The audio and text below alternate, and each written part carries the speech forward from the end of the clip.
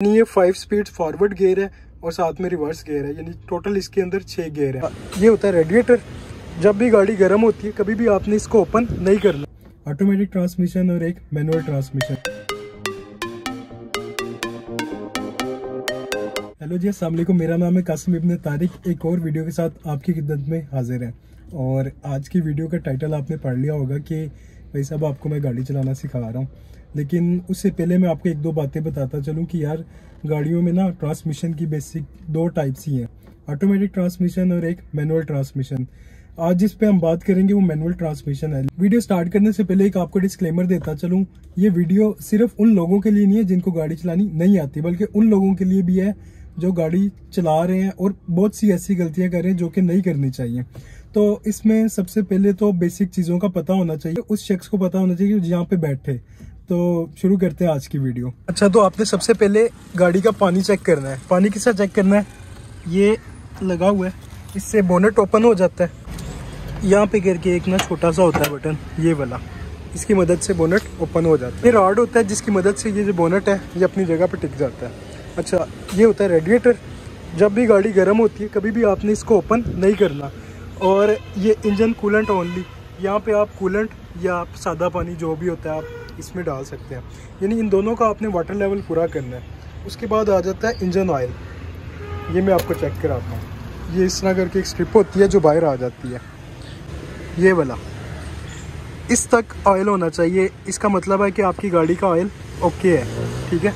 अभी तो मैंने कुछ हिस्सा पहले इसका चेंज कराया। तो इट्स मीन इसका ऑयल पूरा होगा। और दोबारा आपने फिर इसी सुराख के अंदर करके इसके ऊपर एक क्लम्प होता है। उसमें टाइट हो जाता है जाके। ये, अब ये टाइट है अपनी जगह पे। दूसरी चीज़ आती है इसका ब्रेक ऑयल ठीक है? अभी ये अपने पूरे लेवल पे है। यहाँ साइड से भी आपको पता चल जाएगा। इस लेवल पे होना चाहिए ब्रेक ऑयल तो इसमें ब्रेक ऑयल पूरा है। अच्छा एक चीज़ ये होगी, दूसरी ये होगी, तीसरी ये होगी, चौथा ये है, जनाब, इसके अंदर हम पानी डालते हैं। पानी और साथ में शैम्पू को मिक्स कर लेते हैं। ठीक है? ये अंदर आपको जहाँ भी नज़र आ रही होगी। तो ये जो विंड स्क्रीन है, यहाँ से पानी जाता है विंड स्क्रीन साफ़ करने के लिए। अच्छा उसके बाद ये आ जाती गाड़ी की बैटरी ये आपने महीने में एक आधी बार ना नट्स इनको ओपन करना है और इस लेवल पे आपने इसका पानी कर देना है। अभी वैसे इसका पानी पूरा है, यहाँ से आपको नज़र आ रहा होगा। ठीक है? और ये ओके हो गया हमारा काम। एक काम हमारा जो बेसिक हमने सीखना था, वो सीख लिया अब हम इसको नीचे करेंगे। उसके बाद आती है गाड़ी की डिग्गी के अंदर टायर चेंजिंग किट ये टायर होता है और ये जैक है, और ये पाना है, जिसके साथ ये नट, स्टड ओपनर, और इसकी मदद से आप इसको अपलिफ्ट कर सकते हैं। और ये नट कह लें इसको इसको क्लम्प कह लें, ये जो भी होता है। तो इसकी मदद से ना, आप इसको ओपन करते हैं और टायर आपका बाहर आ जाता है। ठीक है? तो ये तरीका है। इसको टायर चेंज करने का तरीका क्या है, वो तो मैं किसी और वीडियो में बताऊँगा आपको, टायर प्रॉपर ओपन करने के बाद। गाड़ी के अंदर बैठते हुए सबसे पहला काम आपने लगानी है सीट बेल्ट ये इस तरह करके। ये इग्निशन स्विच है, ठीक है? अब ये की अंदर है गाड़ी के तो इस वजह से ये ब्लिंकिंग भी कर रही है। तो ये फ़र्स्ट स्टेप है इसका। ये फ़र्स्ट स्टेप वाले फ़र्स्ट स्टेप पे सिर्फ़ और सिर्फ़ आपका मल्टीमीडिया ऑन होता है, ठीक है? उसके अलावा कोई चीज़ ऑन नहीं होती। ये ऑफ़ है। उसके बाद ये पार्किंग लैंप और ये हेडलाइट और अगर आप हाई बीम करना चाहते हैं, इसको आपने आगे की तरफ़ कर देना है। और ये हाई बीम का साइन भी आ रहा है। और जो ही मैं इसको बैक करूँगा तो ये हाई बीम ख़त्म हो जाएगा। और ये ऑफ़ अच्छा बाज़ लोगों ने रास्ता लेना होता है ख़ास तौर पे मोटरवे पे इसी तरह यूज़ होता है कि आप मोटरवे पे गाड़ी चला रहे हैं तो आपने अगली गाड़ी से रास्ता लेना है। आप हारन नहीं बजाएँगे, बल्कि आप ये वाली जगह, ठीक है? तो यहाँ पे आपने इसको दबाना है और ये देखें। मे बी दिन का वक्त है, शायद इतना कोई ख़ास नज़र ना आए, लेकिन यहाँ पे आपको नज़र आएगा, देखिएगा।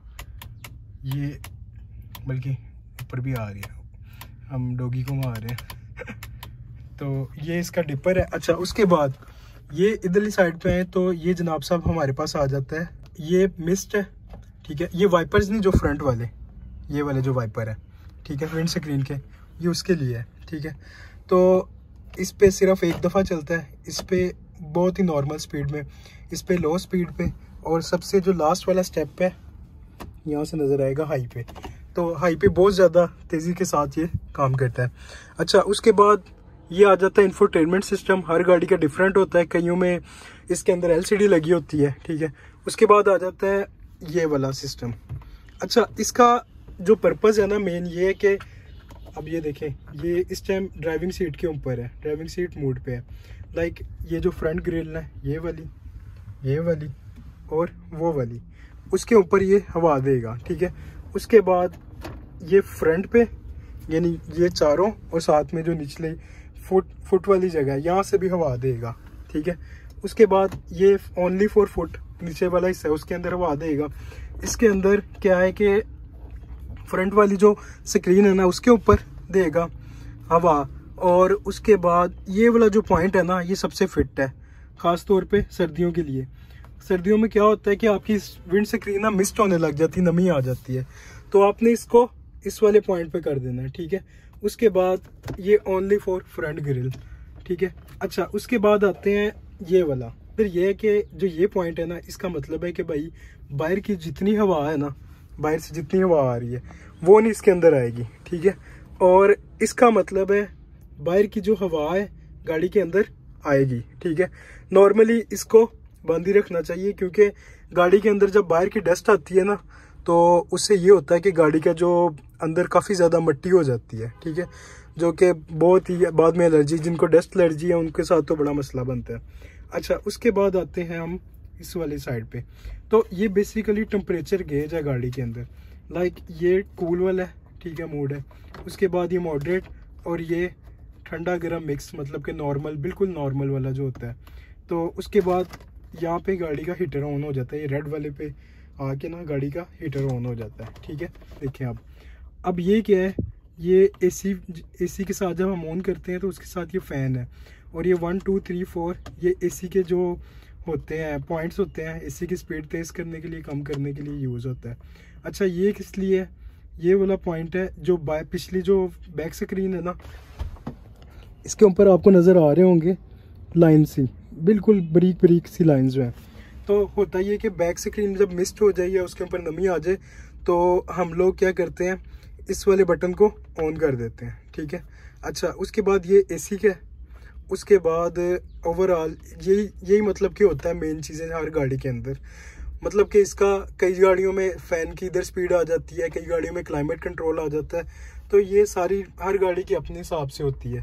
लेकिन हम, हमारे पास अब जो गाड़ी हम उस हिसाब से आपको बता रहे हैं। अच्छा उसके बाद आ जाते हैं गेयर के ऊपर। अच्छा ये गेयर लीवर है। One two three four five यानी ये फाइव स्पीड फॉरवर्ड गेयर है। और साथ में रिवर्स गेयर है, यानी टोटल इसके अंदर छः गेयर है। अच्छा बाज़ गाड़ियाँ जो है ना लाइक डाइवर रेसर होगी, उसके बाद एक दो और गाड़ियाँ मैंने देखी थी। का जो रिवर्स वाला गेयर है, वो यहाँ पे एक क्लिप सा लगा होता है। आप उसको उठाते हैं और फ़र्स्ट गेयर की जगह लगा देते हैं। तो वो उनका यहाँ पे करके होता है, मैं पिक्चर लगाऊँगा, आपको उससे अंदाज़ा हो जाएगा। तो ये सीन है। अच्छा ये हो गया। अब आते हैं हम अपनी असल चीज़ के ऊपर की गाड़ी के अंदर हम बैठे हैं तो उसके बाद हमने क्या करना है? सीट बेल्ट तो हमने पहले लगा ली थी, आपको पता है। उसके बाद हम गाड़ी का अगर स्टेयरिंग एडजस्टेबल है तो आप गाड़ी का स्टेयरिंग एडजस्ट कर सकते हैं लाइक इसको ऊपर भी कर सकते हैं और नीचे भी कर सकते हैं। डिपेंड अपॉन आपकी जो आर्म की हाइट है, उसके मुताबिक। मैं नॉर्मली नीचे रख के चलाता हूँ कम्फर्टेबल ज़्यादा महसूस करता हूँ। अच्छा उसके बाद जो सीट है ना, उसकी भी आप पोजिशन सेट कर सकते हैं। लाइक आप सीट जो है बैक वाली जो आपकी बैकबोन है, उसके हिसाब से आप उसको सेट कर सकते हैं। वो किस तरह करना है, वो भी मैं आपको बताता हूँ। तो ये तरीका है कि गाड़ी को अगर आपने, गाड़ी की सीट एडजस्ट करनी है तो इस रॉड को आपने ऊपर की तरफ़ करना है, आगे करनी है पीछे करनी है, इसको दबाते हुए आप एडजस्ट कर सकते हैं। अच्छा उसके बाद आता है ये वाला क्लिप अब ये आपने गौर से देखना है। लाइक ये इस टाइम सीट की पोजीशन है, ठीक है? आपने इस क्लिप की मदद से इस सीट को आगे भी कर सकते हैं, पीछे भी कर सकते हैं। ठीक है। और इसको जहाँ पे आपने सेटिंग करनी है, आप इजीली इसकी सेटिंग कर सकते हैं। एक और इम्पोर्टेंट चीज़ जो कि गाड़ी के अंदर बैठते हुए आपको पता होनी चाहिए, वो है मिरर की एडजस्टमेंट गाड़ी में कुल तकरीबन एक, दो, तीसरा और ये चौथा, ठीक है। ये सारे के सारे मिरर होते हैं गाड़ी के अंदर। तो इस मिरर को आपने पोजीशन इस तरह सेट करनी है कि ये जो बैक शीशा है ना, पूरा आपको व्यू है इसके अंदर, ठीक है। अभी मैं भी आ रहा हूँ। अच्छा उसके अलावा इस मिरर को आपने ये जो आपको हैंडल नज़र आ रहा है ना गाड़ी के गाड़ी के ओपनिंग वाले हैंडल ये आपको नज़र आने चाहिए। इस वाले सीन में भी ऐसे ही है कि आपको सिर्फ़ और सिर्फ़ हैंडल नज़र आने चाहिए गाड़ी के तो आपका अच्छा एक व्यू आता है गाड़ी चलाते हुए। हर गाड़ी में ना मिरर साइड मिरर एडजस्टमेंट आती है। लाइक इसमें ये आ रही है, ठीक है, ये राइट यहाँ पे न्यूट्रल और ये लेफ़्ट ठीक है। तो राइट साइड का देखिएगा, ये पूरी की पूरा कर्सर है, जिस जॉयस्टिक होती है लेफ़्ट राइट अप डाउन ठीक है? अब ये देखिएगा, ये लेफ़्ट जा रहा है और ये राइट आ रहा है, ठीक है? इसको अपने अपने हिसाब से सेट कर लेना है। तो अब हम गाड़ी को स्टार्ट करते हैं। गाड़ी को स्टार्ट करने करते हुए सबसे पहले आपने फ़र्स्ट के ऊपर, जैसे ही आप आते हैं फ़र्स्ट वाले इग्निशन के ऊपर तो इस पर सिर्फ़ और सिर्फ़ मल्टीमीडिया ऑन होता है। सेकंड वाले पे गाड़ी के ऊपर। ये सारे के जो भी इसके सेंसर है एयरबैग है चेक लाइट है ब्रेक है स्टेयरिंग है, इस टाइम स्टेयरिंग लॉक है इसका मतलब है। ठीक है? उसके बाद ये इसकी एवरेज लिखी आ रही है, तकरीबन सिक्सटीन सत्रह के करीब इसकी एवरेज है। पेट्रोल के हिसाब से देखा जाए तो ये 217 किलोमीटर की रेंज आ रही है।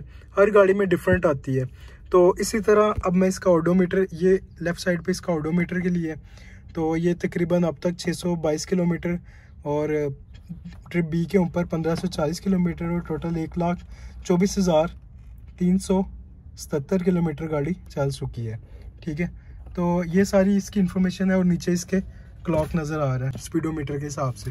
तो गाड़ी को स्टार्ट करने से पहले मैं आपको एक बात लोग गलती क्या करते हैं? मेन के गाड़ी के अंदर आते हैं, साथ ही सलफ मार देते हैं गाड़ी का, जो कि इंतहाई गलत है।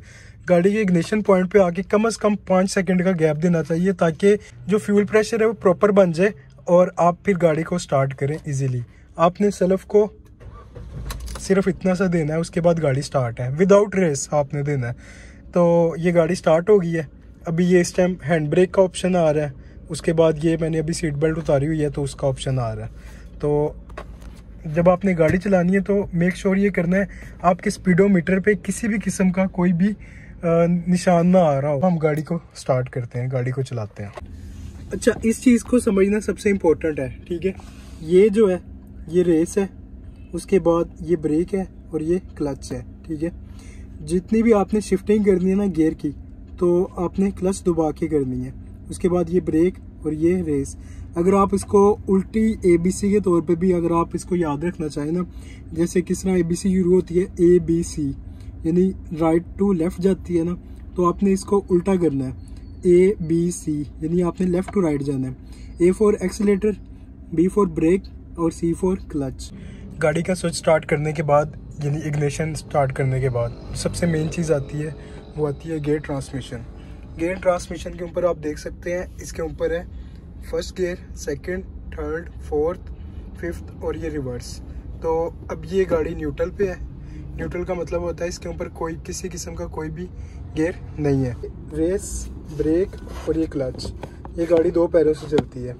तो नॉर्मली गाड़ियाँ जो दूसरी होती हैं ऑटोमेटिक वो ए, वन फुट से चलती हैं रेस और ब्रेक से बस। तो इस केस में दोनों पैर यूज़ करने पड़ते हैं। जो ये लेफ़्ट वाला पाँव है आपका फुट है इसको आपने सिर्फ़ और सिर्फ़ क्लच के लिए यूज़ करना है। और जो रा, ये राइट वाला है इसको आपने रेस और ब्रेक के लिए यूज़ करना है। तो फ़र्स्ट गियर शिफ्ट करने के लिए आपने सबसे पहले क्लच को दबा देना है और यहाँ से आपने फ़र्स्ट गियर को लगा देना है। टॉप राइट कॉर्नर पे जो होगा ये फ़र्स्ट गियर गाड़ी का लग चुका है। अब यहाँ पे बहुत से लोग गलती करते हैं क्या है कि क्लच को यकदम छोड़ते हैं साथ में रेस देना शुरू कर देते हैं। तो जिससे गाड़ी भी बंद हो जाती है। आपने सबसे पहले क्लच को छोड़ना है, ठीक है? जितना पॉसिबल हो सकता है। उसके बाद फिर आपने रेस की तरफ़ आना है। या मैंने क्लच से पैर उठा लिया और ये आहिस्ता आहिस्ता आपने एक्सलेटर देना शुरू कर देना है। और तकरीबन 10 से 15 की स्पीड या नॉर्मली 20 की स्पीड पे आपने सेकंड गियर शिफ्ट कर लेना है। इस इस तरह। और फिर क्लच छोड़ देना है आपने। और जो भी गेयर शिफ्ट करना है गेयर डाउन करना है गेयर आपने आ, कम करना है ज़्यादा करना है उसके लिए आपने क्लच का जर, इस्तेमाल ज़रूर करना है। तो उस क्लच को दोबारा गेयर शिफ्ट करने के बाद आपने पाँव कोशिश करनी है कि क्लच से उठा लें। वरना क्लच प्लेटें अक्सर ही गाड़ी की जो है वो ख़राब हो जाती हैं या जल जाती हैं।